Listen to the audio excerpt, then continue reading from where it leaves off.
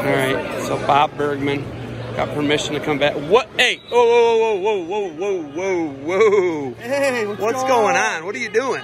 Hey, we're just just trying to clean ourselves up here. Yeah, I know you're a fan. I know you're a big fan. Do you guys Great defend what you stuff. build here, or what's the Doing deal? our best. We're doing our best shot. Yeah? Yeah. How are the Comets doing today? Two in the we're, finals? We're two in the finals. Yep, Contos McGill.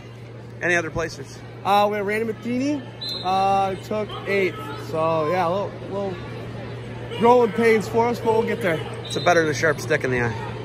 Amen. And would you agree with that? Yeah, um, sure. All right, are you guys keeping funky free off the mat? Are you staying on the mat? Yeah, absolutely. I know, Great man. stuff. Bob, Peppermint. Bob, have you had the peppermint? I, I, I'm the old school guy. I like the original, but some of the guys on our team like the peppermint. So Tingle. Tingle, Bob. Tingle. Tingle, hey.